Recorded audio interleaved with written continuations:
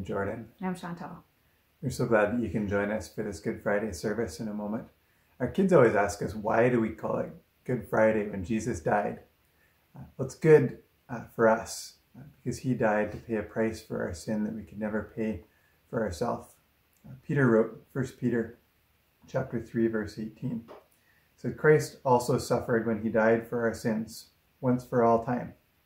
He never sinned, but he died for sinners, that he might bring us safely home to God. He suffered physical death, but he was raised to life in the Spirit. On Good Friday, one of the things that we usually do together is take communion. And we usually do that in the same building together, uh, which we can't be in right now. Uh, so we're inviting you to participate in communion uh, wherever you are when you're participating in this service. Yeah, this is super unusual for us. I definitely have not done communion in the living room with just Jordan before. But I feel like um, the time that we're living in now, God knew about it and He foretold it. And He knew that this would be something that we experience. And when He wrote, Where two or more are gathered, then He's with us. And I think that that means for us here in the living room together, but it also means that He knew we were going to be connecting online like this. And He knew that maybe you'd be sitting by yourself in the house and that you could participate in communion with us through this medium and that he would still be with us. And so I'm so thankful that we live in a world where we have the ability to do this and we can still meet and we can still remember the most important thing and the most important gift that God has ever given us, and that is his son and that he sent him to die on the cross. And today is a day where we get to remember that. And I hope that in this time and through this service that you'll have the time to just really focus on the gift that God has given and the sacrifice that Jesus made.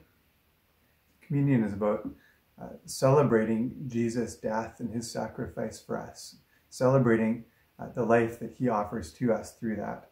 Uh, so at any point uh, during the service, you're welcome to go out and find for yourself, or you can pause the video even if you want. Great thing about the way we're doing this. Uh, and you don't have to find a loaf of bread, you don't have to find grape juice or wine. Uh, find cracker or some type of bread-like product, uh, some type of drink, uh, something that you're going to enjoy together. Uh, communion is a lot less about the specific things that we eat, and it's about participating and remembering and doing something together uh, that focuses us on who Jesus is and what he's done for us. And then at the end of the service, uh, we'll come back and together uh, over a video like this, we'll take communion together. Yeah, the point of it is our hearts. And whatever medium that you're using, if you're using that to remember the broken body of Jesus and his blood shed on the cross for you, that's the point. So I pray that through this service and the worship that you experience the presence of God and you're, you're drawn in the reality of what Jesus did for us on the cross.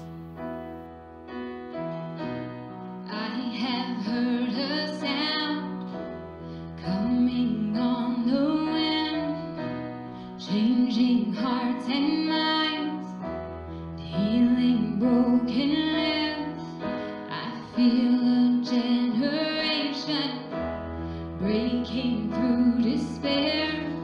I hear a generation full of faith declare, It has come. it will be. Out of the darkness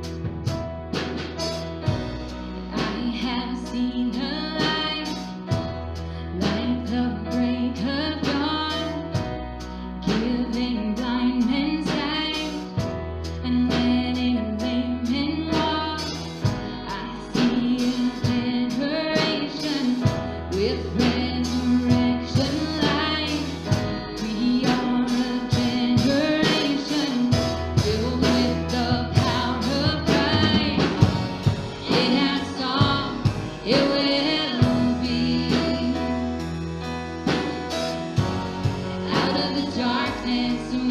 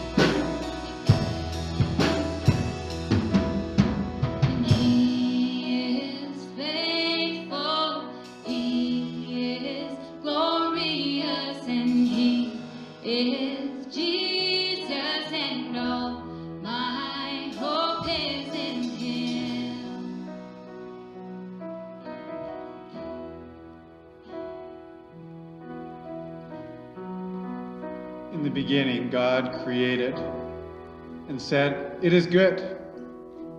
All the beauty of the world, all the beauty that calls our admiration and our gratitude, our worship at the earthly level, is meant as a set of hints, of conspiratorial whispers, of clues and flickers of light, all nudging us into believing that behind the beautiful world is not random chance, but the loving God.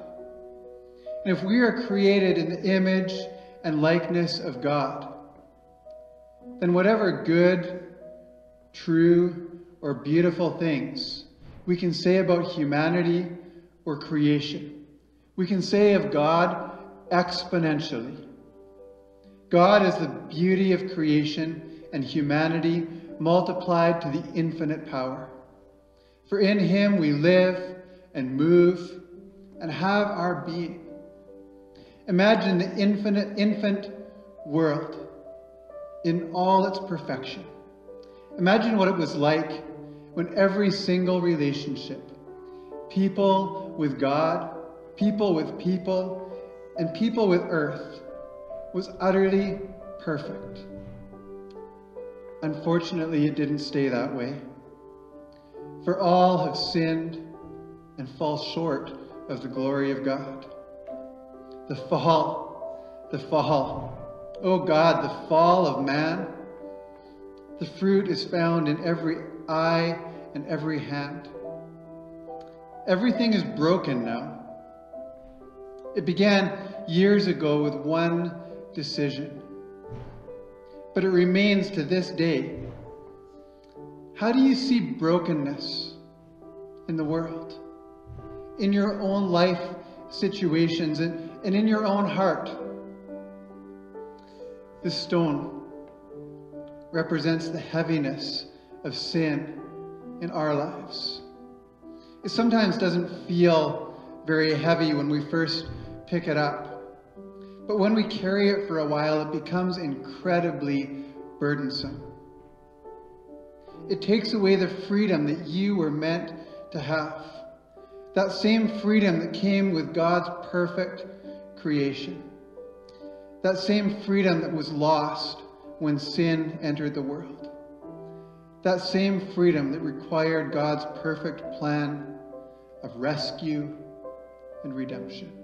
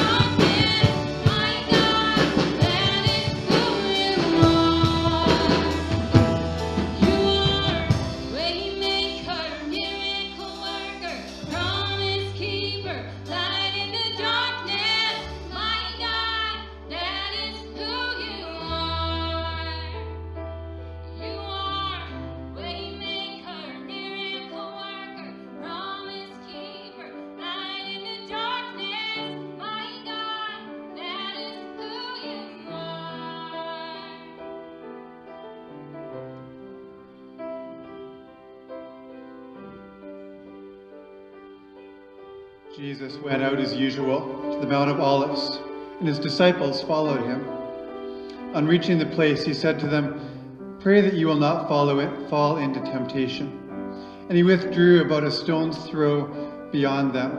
And he knelt down and prayed, Father, if you are willing, take this cup from me, yet not my will, but yours be done. And an angel from heaven appeared to him and strengthened him. And being in anguish, he prayed more earnestly. And sweat was like drops of blood falling to the ground. Then he returned to the disciples and said to them, Are you still sleeping and resting? Look, the hour has come. And the Son of Man is delivered into the hands of sinners. Rise, let us go. Here comes my betrayer. Jesus knew all the pain and suffering that he was about to experience. Can you sense his anguish? Do you feel his struggle? Yet he says, Not my will, but yours be done. Jesus' sacrifice wasn't a spur of the moment decision. He deliberately chose to take the journey to the cross in spite of the great cost. Is there an area of your life where you need to make a choice to love and to sacrifice, even if it comes with a cost?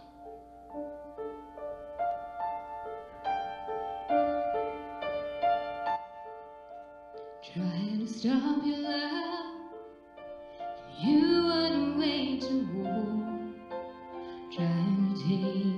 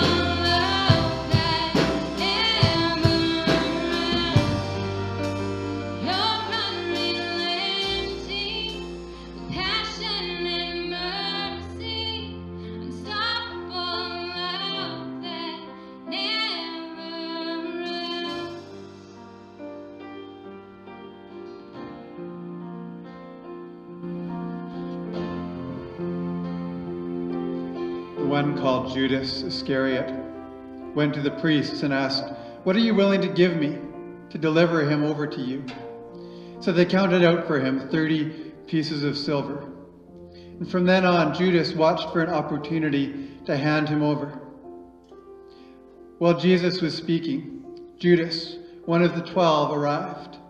With him was a large crowd, armed with swords and clubs, sent from the chief priests and the elders of the people.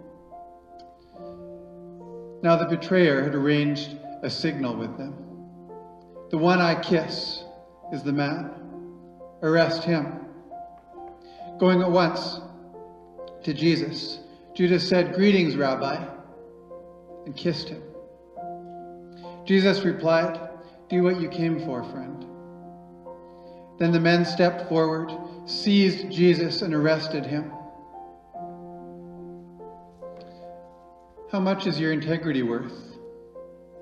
Would you betray a friend for $20,000?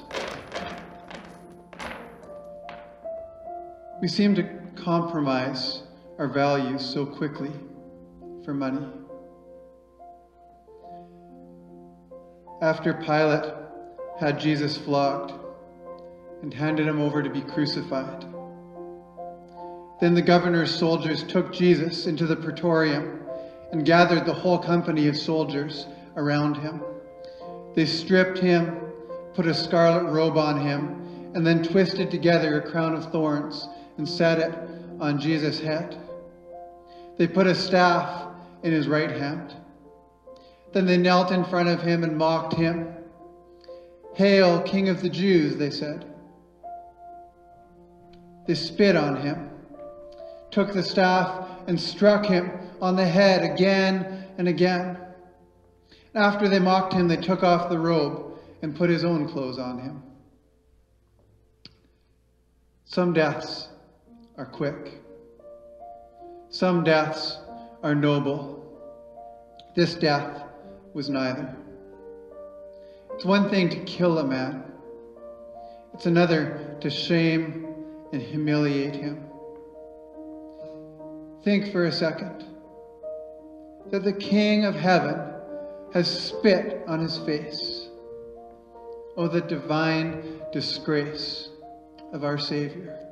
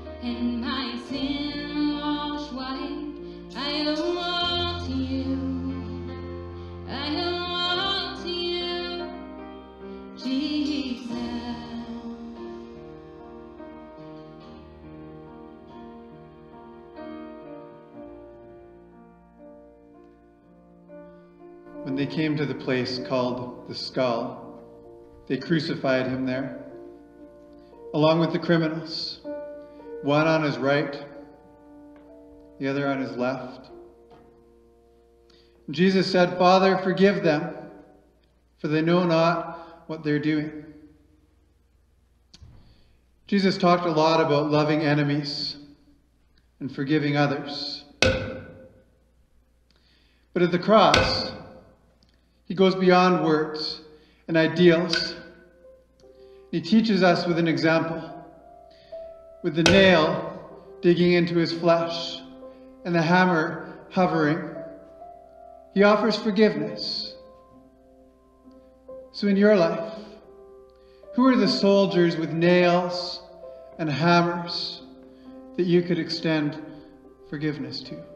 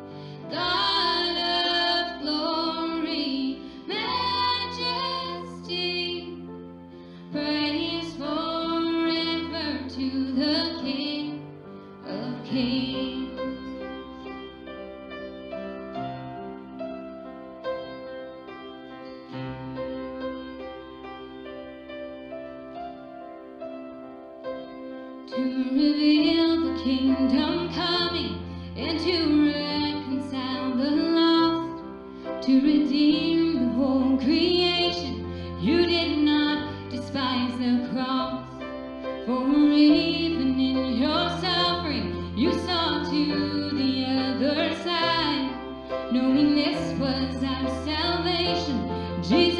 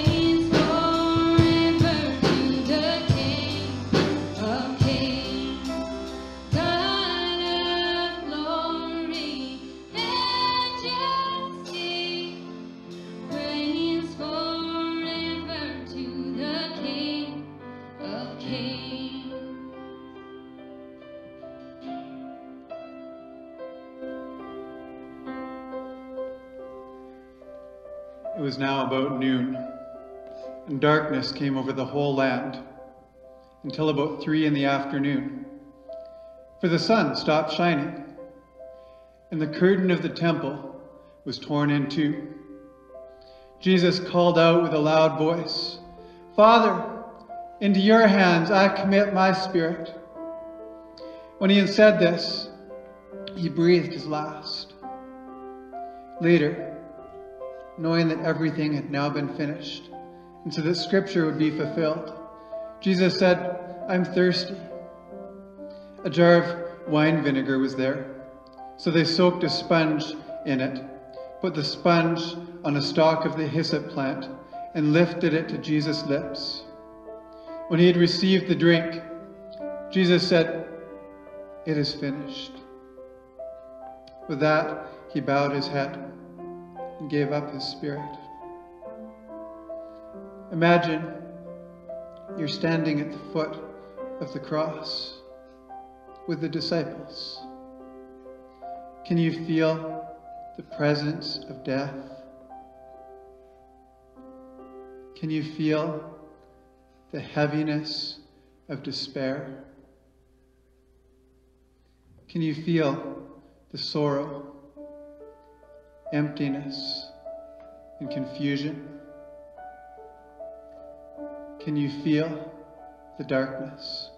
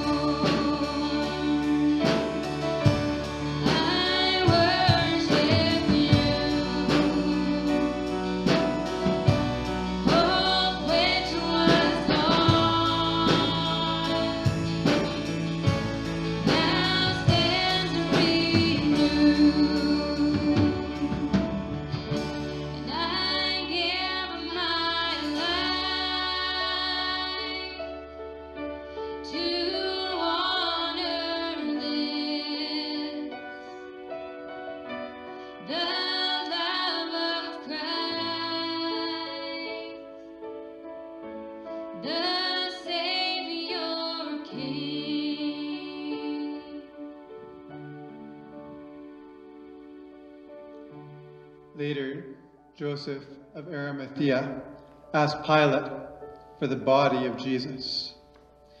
Now, Joseph was a disciple of Jesus, but secretly because he feared the Jewish leaders.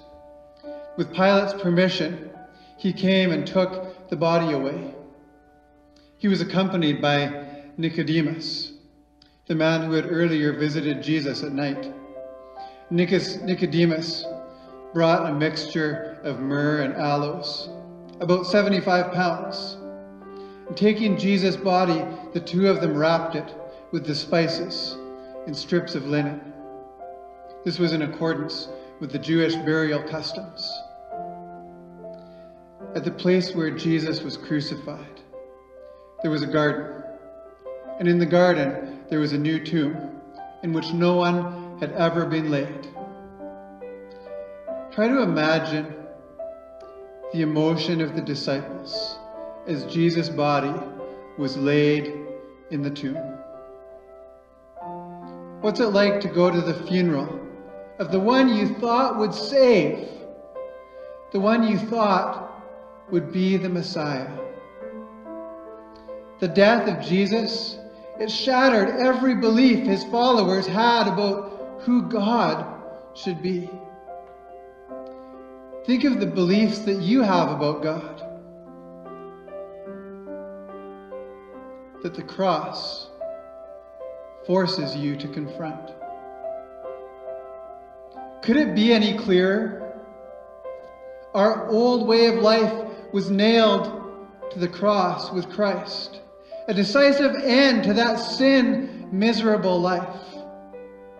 No longer at sin's beck and call.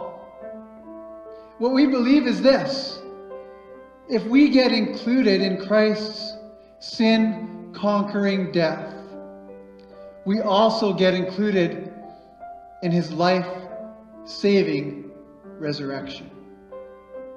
We know that when Jesus was raised from the dead, it was a signal of the end of death as the end. Never again will death have the last word. When Jesus died, he took sin down with him.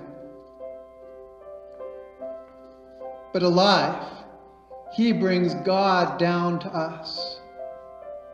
From now on, think of it this way sin speaks a dead language that means nothing to you. God speaks your mother tongue, and you hang on every word. You are dead to sin, but alive to God. That's what Jesus did. That means you must not give sin a vote in the way you conduct your lives. Don't give it the time of day. Don't even run little errands that are connected to the old way of life. Throw yourself wholeheartedly and full time. Remember, you've been raised from the dead into God's way of doing things. Sin can't tell you how to live. After all, you're not living under that old tyranny any longer. You're living in the freedom of God. It is for freedom that Christ has set us free. Stand firm then and do not let yourselves be burdened again by a yoke of slavery.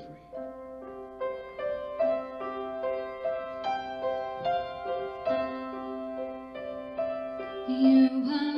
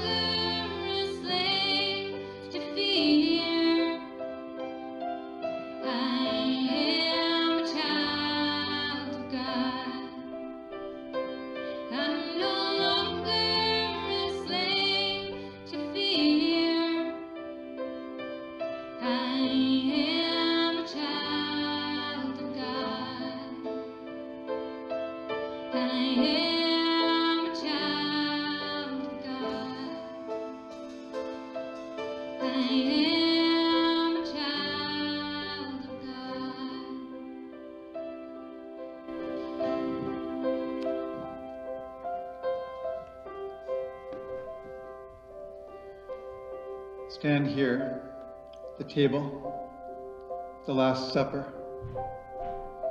Here is where it all started with bread and a cup and a promise. This bread and this cup is about that body and that blood. This bread and this cup is about a new covenant between God and you. It's about righteousness, given, not earned. It's about God fixing the sin problem once and for all. This bread and this cup is about how He so loved the world.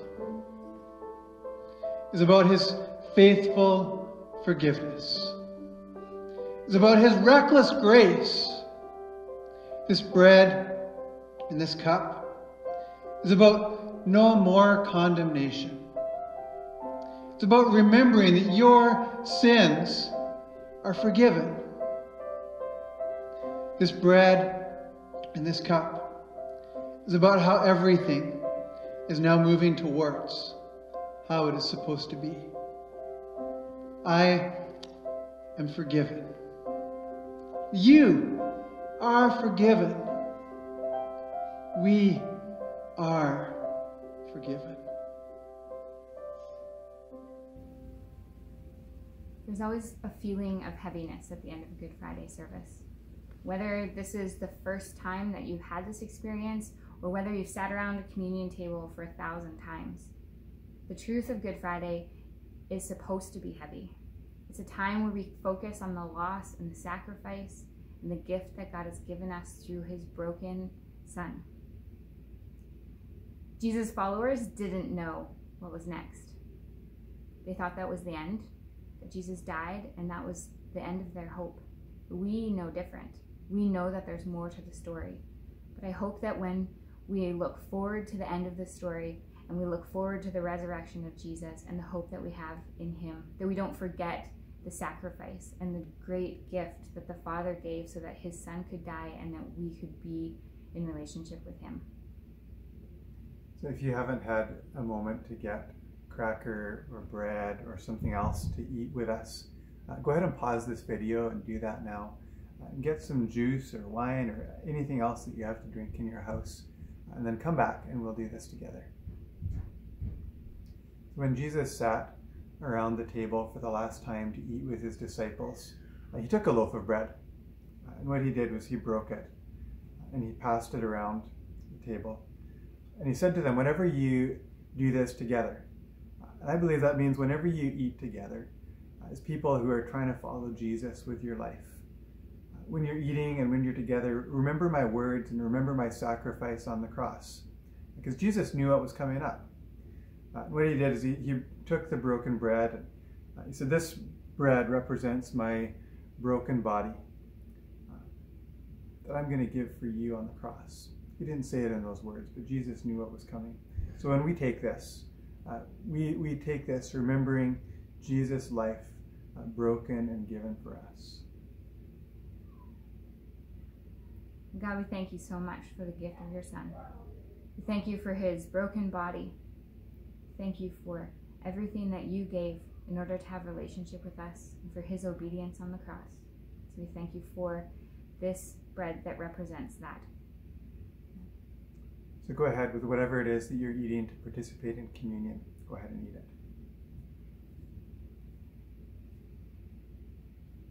After the bread, he took wine, passed the glass around the table. Similar to the bread, he said, This, this drink represents my blood poured out for you. So when we drink together as the body of Christ, as followers of Jesus, we drink this, remembering his life poured out so that we can have life. I thank you for the, your son's blood, for Jesus' blood shed on the cross for us, that we have new life because of his sacrifice.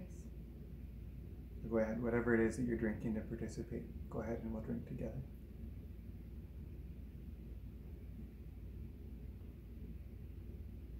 God, I thank you for every person uh, watching, participating in this moment of remembering.